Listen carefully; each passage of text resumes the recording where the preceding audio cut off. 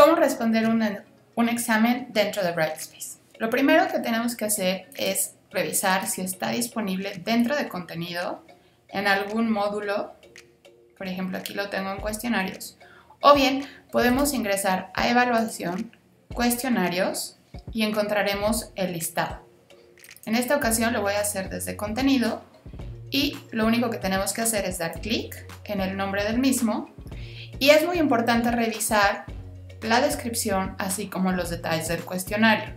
Si el examen tiene tiempo establecido, una vez que nosotros lleguemos a ese tiempo, lo que va a pasar es que Brightspace se va a cerrar y va a mandar mi examen de manera automática, sin importar en el número de pregunta que me haya quedado.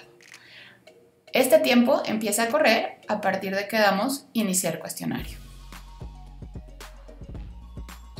Me despliega la o las preguntas, respondemos y al final es muy importante dar clic en enviar cuestionario. Reiteramos, sí, enviar cuestionario